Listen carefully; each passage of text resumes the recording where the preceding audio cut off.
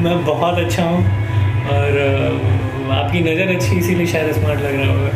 नहीं नया लुक में नज़र आया मेरा कहने का मतलब ये है। यार नया लुक का ऐसा है कि अभी एक मैं फ़िल्म करने वाला हूँ उसका नाम महापात्र है। और ये 1950 की कहानी है जब हिंदुस्तान जो है आज़ाद हुआ था 1947 के बाद उसी के अराउंड उसी समय उसी एरा की कहानी है। और जिन लोगों ने मेरी फ़िल्म रोटी का ट्रेलर देखा होगा या उसके बारे में सुना होगा जिन लोगों ने उसका प्रीव्यू देखा होगा फ़िल्म का तो कम से कम एज एन एक्टर मैंने जो स्क्रिप्ट पढ़ी है या जो मैं जानता हूँ या जितनी मुझे समझ है सिनेमा की रोटी से कम से कम टेन टाइम्स बेटर प्रोजेक्ट होने वाला है महापात्र। भोजपुरी भाषा में बोला जाए तो महापात्र कहल जाला हाँ बिल्कुल। मैंने कौन प्रकार की कहानी हुई? हिंदुस्तान में जो जातिवादी है, छुआछूत, वो चरम पे होता है। आज के इक्कीसवीं सदी में भी जो है हमारे यहाँ जो है छुआछूत है, भेदभाव है, ऊंच नीच है। तो आप सोचिए कि जिस समय की हमारी कहानी है 1947 की तो उस समय ये जातिवादी और छुआछूत तो बहुत ऊपर था। तो उस समय की कहानी है और हम जो बचपन से सुनते आए हैं कि जो एस सी एस टी होते हैं, शेड्यूल कास्ट जैसे डोम हो गया, चमार हो गया, ये सारे जो कास्ट जो नीची जाति से आते हैं। तो पहले के ज़माने में ब्राह्मण जो हैं वो छूते भी नहीं थे। उनको लगता था कि हम अपवित्र हो जाएँगे तो ठीक उसी तरीके से जो शायद बहुत लोगों को नहीं पता है कि महापात्र जो है, वो खुद ब्राह्मण होता है। एक ब्राह्मण में एक वर्ग आता है, जिसको महापात्र बोलते हैं। और उसका काम सिर्फ़ श्राद्ध का होता है।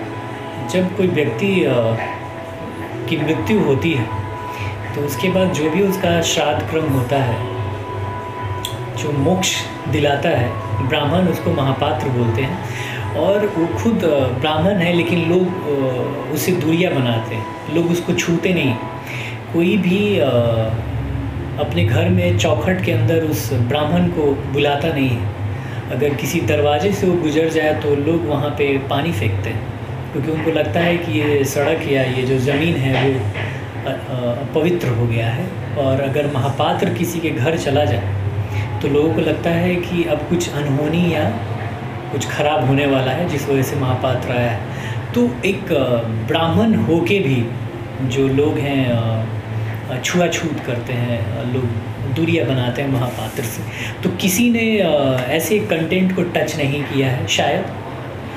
मैंने हिंदी फ़िल्म में भी, अभी जितनी भी मैंने फ़िल्में देखी या सुनी है, और भोजपुरी में तो हंड्रेड परसेंट किसी ने टच नहीं किया है तो एक हम लोग नया कॉन्सेप्ट पे एक अच्छी फ़िल्म बनाने की कोशिश कर रहे हैं।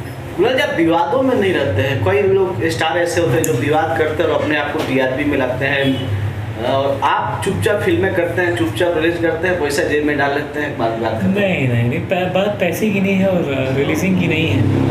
अभी विवाद भी ज़रूरी नहीं है। मैं यहाँ, मैं आउटसाइडर हूँ, मैं महाराष्ट्र से नहीं हूँ मैं मुंबई से नहीं हूँ। और मैं यहाँ सिर्फ़ काम करने के लिए आया हूँ। मुझे लगता है कि जितनी बातें या जितना समय मैं दूसरों के बारे में बात करने या उनके बारे में चर्चा करने में निकालूँगा अगर उतना समय अपने ऊपर काम करूँगा तो शायद मेरे लिए बेहतर होगा।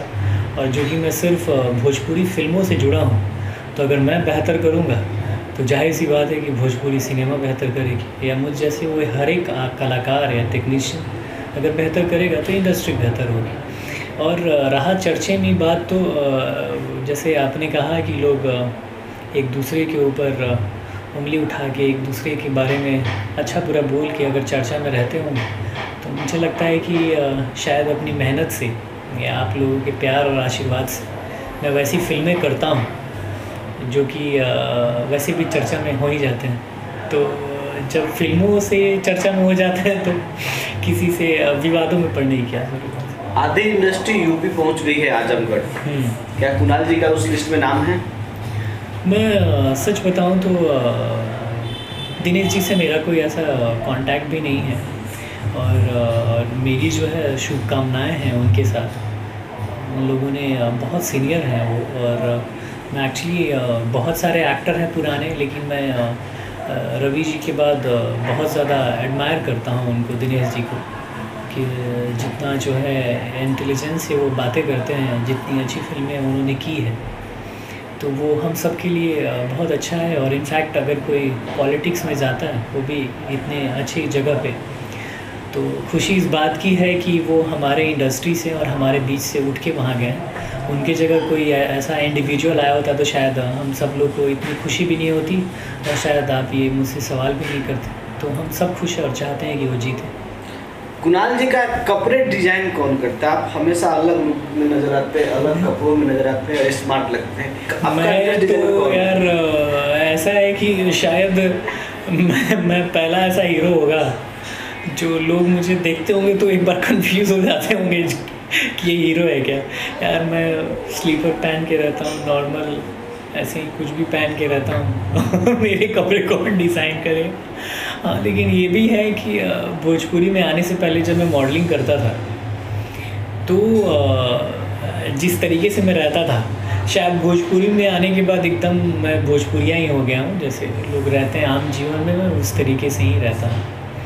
और एक चीज़ अपनी आने वाली फ़िल्म महापात्र के बारे में बोलूँगा कि ये भोजपुरी की पहली ऐसी फ़िल्म होगी जिसमें हमने जो है रियल क्राउड जो है 800 के साथ शूट करने का हमने वो प्लान किया है। और पूरी फ़िल्म ज़्यादा नहीं बोलूँगा, बस एक बार जब फ़िल्म शूट हो के आएगी तो यकीन मानिए मतलब इंडस्ट्री को गर्व होगा और लोग एक बार सोचेंगे कि महापात्र भोजपुरी फ़िल्म है क्या। कहाँ शूटिंग करने का प्लान है और कब से करने का प्लान है? आ, हम शूटिंग यूपी में करेंगे सोनभद्र में करेंगे। क्योंकि हमारी फ़िल्म की जो कहानी है उसके हिसाब से जो लोकेशन है वो सोनभद्र में मिला है। और प्लान इसी मंथ का था। तो थोड़ी सी डेट का आगे पीछे कुछ पर्सनल इश्यूज़ की वजह से या प्रॉब्लम्स की वजह से जो है थोड़ा सा डेट आगे बढ़ा है, लेकिन मुझे लगता है कि जून एंड तक हम लोग जो है, या जुलाई फ़र्स्ट तक शुरू कर लेंगे महापात्र